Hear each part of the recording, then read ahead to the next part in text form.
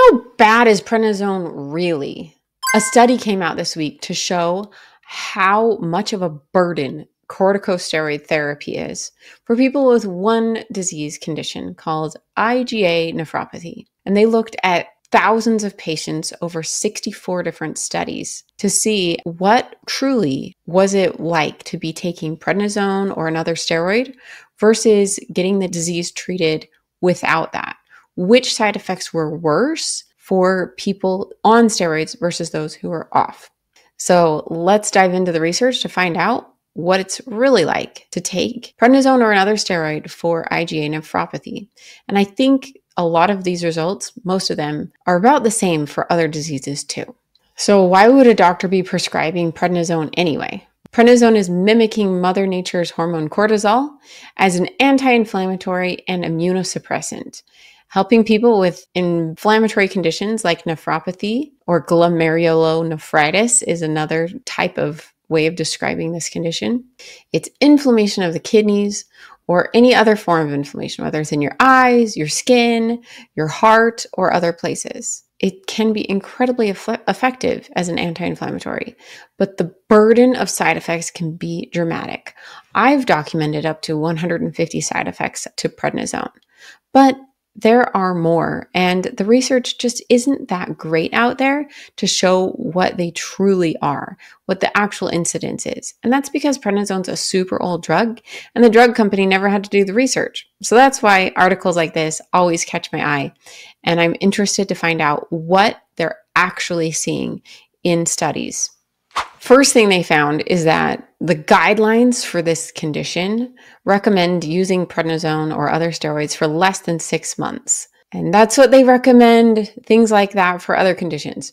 Don't use prednisone very long for rheumatoid arthritis or polymyalgia rheumatica or asthma. That's what all the guidelines say. But it says the study found that 59% of patients were on prednisone for 8 to 24 months. People get stuck on it. It works so well, and other things may not work as well or whatever. And they're on it for a long time.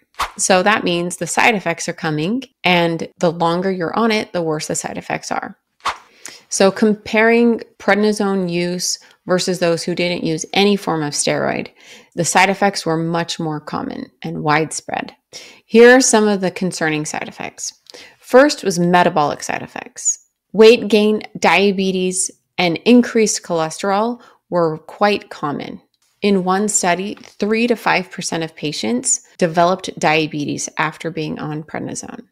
Cushing syndrome is the fancy word to describe what prednisone does to make your face look round like a moon face, a big belly, muscle loss in your arms and legs, and other complications to make your face and your appearance just look different.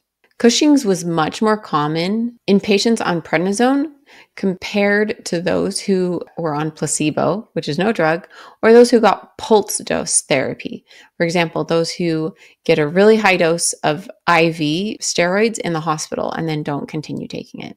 This makes sense because typically moon moonface takes a couple weeks to appear. And if you're only on steroids for a few days, then it makes sense that it wouldn't appear. Then there's edema or swelling. There are much higher rates in those using steroids versus those not. A finding that I found interesting is that they found increased risk for cataracts, like your eye, your lens of your eye, but not glaucoma. I've pretty much always heard of glaucoma and cataracts both being side effects of prednisone, but in this situation, there was no incidence of glaucoma. So that's really good news. It also kind of makes sense because glaucoma is more typically associated with the eye drop version of steroids compared to the pill version of steroids. And then there's bone and joint problems. So osteoporosis and fractures were more frequent in long term users. One study showed that patients on prednisone were significantly more likely to have a fracture than those on alternative therapies. Next, prednisone is an immunosuppressant. It's suppressing your immune system. For me, that was why I took it to make my autoimmune disease stop attacking me.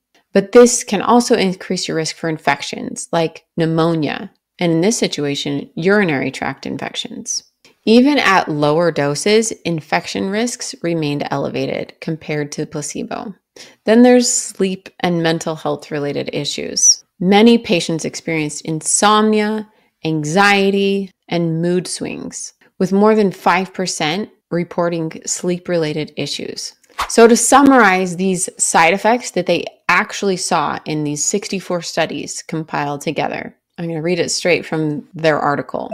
There was a statistically significantly higher rates of dyslipidemia, that's high cholesterol, fracture, that's broken bones, and cataracts, that's when you have to get a lens replacement of your eye, in patients treated with corticosteroids for longer than six months, relative to those not treated with corticosteroids. So, those were the three most likely attributed to the treatment as opposed to potentially these other things are complications of the disease.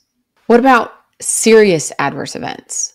Hospitalizations for severe infections, severe metabolic issues like diabetes, and fractures or broken bones. In one study, 16% of prednisone patients experienced severe adverse events compared to 2% with other supportive therapy for IgA nephropathy.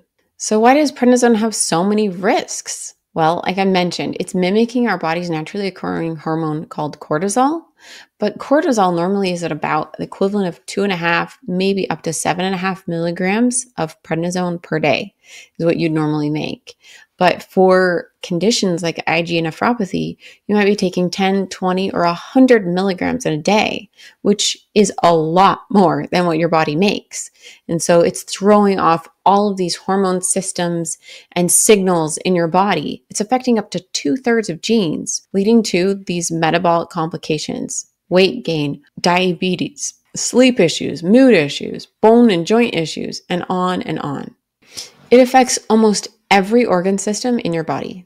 So, what are some alternatives to prednisone for IgA nephropathy that they mention in this article? So, first, targeted therapies. When you take a prednisone pill, it goes everywhere in your body. It doesn't just go to where you want it, which in this case is the kidneys. It's going everywhere, causing side effects across the entire body. So they've tried to attach things to the steroids to help them go to the site of action. So in this situation, a drug called budesonide, it's a targeted release corticosteroid, has been designed to reduce side effects by delivering the medication directly to the kidneys. It has shown promise of decreasing proteinuria, which is a way to measure how effective the medication is and for the disease with fewer systemic side effects. All of these ones I've just mentioned. There's new medications that completely avoid the corticosteroid complications altogether. These are called sparsentan and iptacopan, and they target specific pathways in IgA nephropathy, offering steroid free treatment options.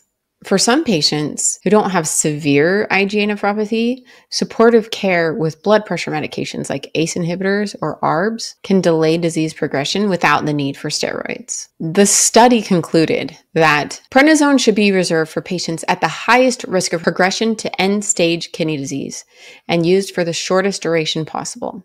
I completely agree with that, that prednisone should only be used in the worst situations and you should always try to use some other treatment if possible. And if you have to use prednisone, use it at the lowest dose for the shortest duration of time. That is safe for your disease. Work closely with your doctor if you have questions about your treatment with prednisone or your treatment of IgA nephropathy.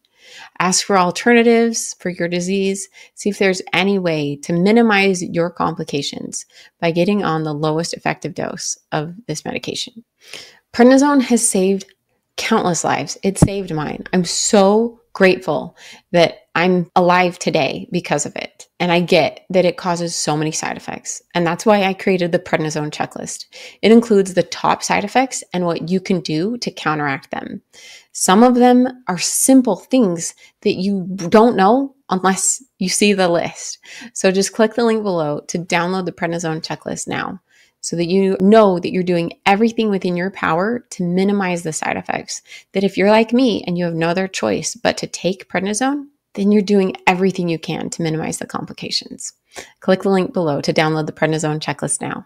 Signing off as Dr. Megan, your prednisone pharmacist.